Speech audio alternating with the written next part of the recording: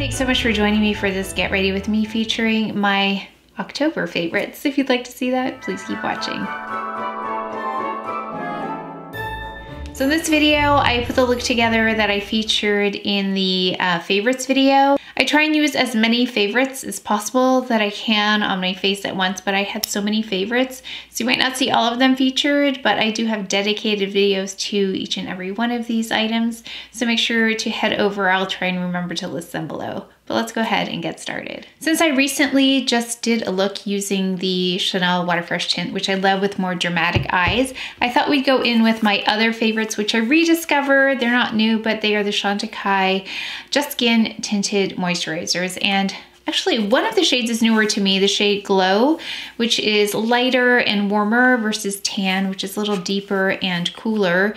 Uh, so I like mixing them together. You don't have to, but I just happen to have both of them, so I'm gonna mix them together. I'm also going to mix them with another favorite. So let's do a little uh, customizing here. So we've got glow, we've got tan, and then I'm gonna go in with just a little bit of the Chanel. This is the iridescent illuminating fluid in Or Ivoire. So we're gonna mix that in as well. Oh, that was a little bit more than I intended. So we have uh, a lot more of that illuminator than I really meant to put there, but we'll make it work. So I'm just mixing this on my hand and take my favorite, I'll list all of my favorite brushes. I mean, they don't really change that much uh, because I love usually the same ones and it's rare that I integrate a new brush that I love, but I'll list them all below. This is the Shiseido one that I think some of you picked up at the sale. So just really quick application.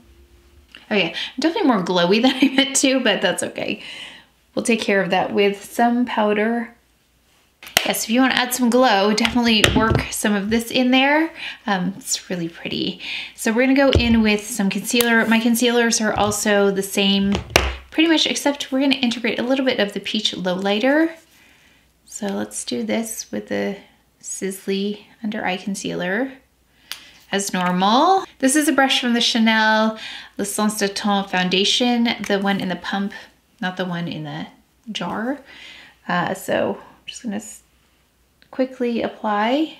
This is a bit of an adjustment from what I normally use. I've been using a Clé de Peau in Mocha, which is a cooler shade, but I don't know, my skin tone is warmer or the foundations I'm using have a warmer undertone. So I've been using honey. So that's been really nice. So just quickly integrating that in. That's why I love the de Peau concealer so much. It just doesn't take much work at all to get that in place. And it does a lot of heavy duty coverage, especially if you have dark areas like I do, though they're not as dark as before. I do want to try something with the Peach Lowlighter because that was a favorite of the month. I really like it for more lightweight kinds of coverage, as well as like your no makeup makeup days. And there was one day I did my makeup using the um, just this and their powder and my skin looks so nice. Oh, not just this. Actually, I had the tinted moisturizers on with it and this and the Rodial Power powder, which we'll use in a moment. So this is the Rodial Lowlighter right here, but I'm gonna use the La Prairie brush because it's a really nice one. So let's go in with this. I usually will just apply it here, here, here, here, um, but let's try it more strategically. I'm curious if it will work like the La Prairie. Okay, nice brightening effect on that one.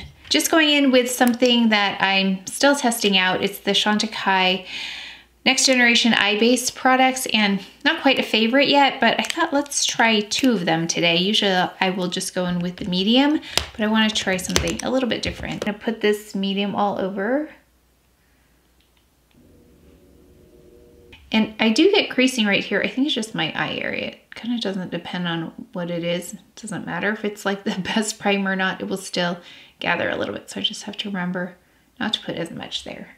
Then let's take the lighter one, this one, because it comes in two shades. Let's do that right like under the brow bone a bit and just smudge that into the brow bone and a little bit underneath just to see if we can build a little bit of dimension with these products. I do like to push it into the brow for a little bit of primer for the brows as well. Let's go in next with the Rodial glass powder. I don't think this is as widely available right now. It's kind of been a hot item, so it's been selling out. Uh, so I will keep my eye out when I see it pop up in more places. But I had a chance to try this because um, we had a little Zoom with the founder of Rodial and she was teaching us all about these amazing products. So I really do love this powder that they came out with and that's kind of rare that I like a powder that much because I have so many powders that I think are just okay, but this one's really lovely. Really nice and lightweight. Still provides a nice glow, but it's not shimmery or sparkly at the same time. So they got a really nice balance here. Is another favorite brush, the La Mer brush. And I rarely will apply powder, loose powders like this. Usually I'll use a um, like a puff, but this works really well like this. I will take a little of that glow down as well. There's a lot of glow on that. Now when I'm not looking for perfected, I'll just go in like this. Oh, it's that concealer. And then I'll uh, just go ahead with the rest of my makeup. But because I have this and because I like it a little bit more perfected in the front, we're gonna go in with the Chantecaille Perfect Blur Powder. And another favorite brush, the Chantecaille Buff and Blur. Okay, let's go ahead with brows. Favorite brow pencil. It'll really be an amazing brow pencil to beat this one because I just think it's so wonderful. It's really easy to use too.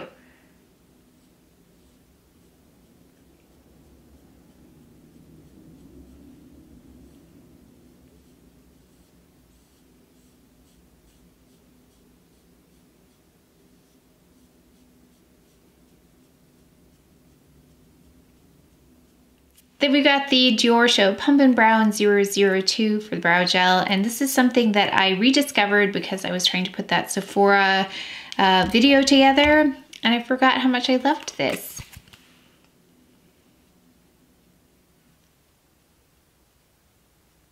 This has probably got the strongest hold of any of the eyebrow gels that I've tried. So if you're looking for a more firm hold, then this one's a really great one. Now we're gonna go in with bronzer. I think we know which one I'm gonna pick. Guerlain Terracotta. This is the one in gold bronze from the holiday collection. Another favorite brush, the Charlotte Tilbury bronzer brush. It's retractable, retractable by the way. It retracts and then there's a cover that goes on it as well. I don't know where that is right now, but it does come with a cover.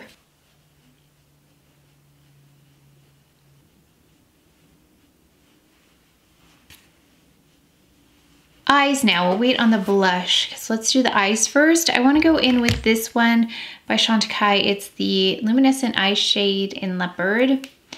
And the other one, I couldn't find anymore, the Tiger one. So if you missed that one, I don't think it's available, but if you did want this one, I think it's a really versatile shade. So we're gonna actually go all over the eye with this.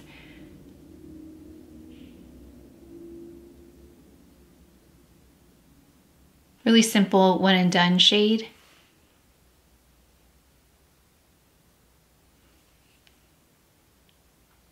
And all of these favorites have a video somewhere in the recent past. So if you'd like to see any of the more detailed videos, I show swatches, close-ups, demos. Um, so if you want more detail, I'll try to remember, I always forget, I'll try to remember to list all of the videos below. I'm gonna blend that a little bit.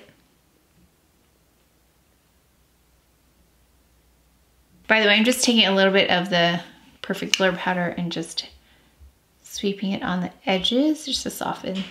Hi, honey. Bye-bye. Are you going? Okay. Be safe, my love. So let's go ahead now with the Byredo palette. So you could do one and done like this. I think it's really pretty, but I do want to integrate this khaki color and then this green color because I just love this palette so much I wanted to find a reason to use it. Let's go ahead and take this dark green shade we're gonna add it to the outer corners.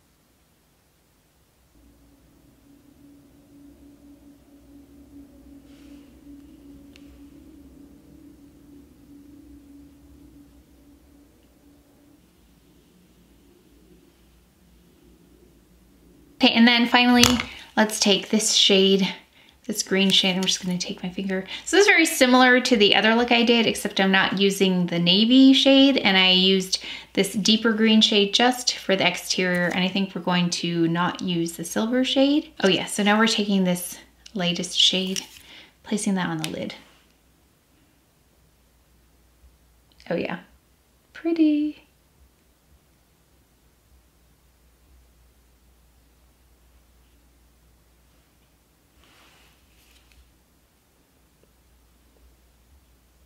Yeah, that's really beautiful. I'm gonna take, let's see, I wanted to use this shade because I forgot I had it actually. And I thought, oh, I should have used that. I think so many eyeliners could work with this, but we're gonna go in with Black Forest by Chantecaille. And then I think I'm gonna tight line with that. Actually, I'm gonna go all the way. I'm gonna go on the water line, tight line, go above the lash line. So let's do that first. Let's go above the lash line, do a little kitten wing.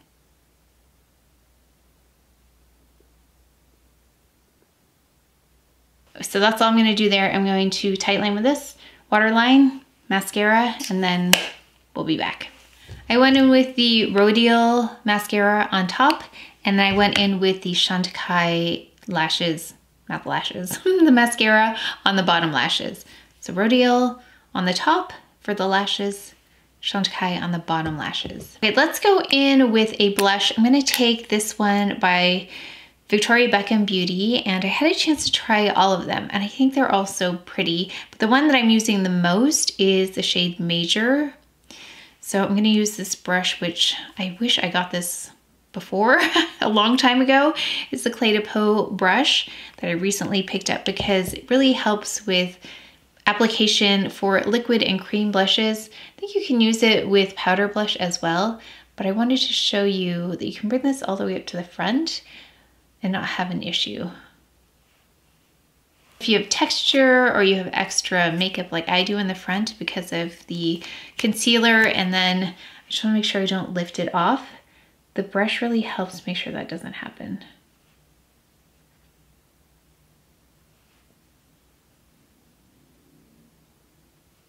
Definitely one of my favorite blush formulas and blush shades almost that I've ever tried, which is a huge statement because I love blush and I've tried so many of them. Really easy to apply, beautiful shade, melds with the skin, has a lovely glow without anything sparkly, nothing shimmery, and it does have a nice like feel about it, really comfortable. Okay, so I could stop there but you know me, I'm gonna do a little bit more. I've been loving this blush on top of other blushes as well as by itself. I'm gonna try and layer these. I haven't layered this combination yet, so we'll see how it goes. Um, I really do need a case though. This is one of the Clé de Peau blushes. We're just gonna take this lighter shade right here. We're just gonna apply this all over the cheek.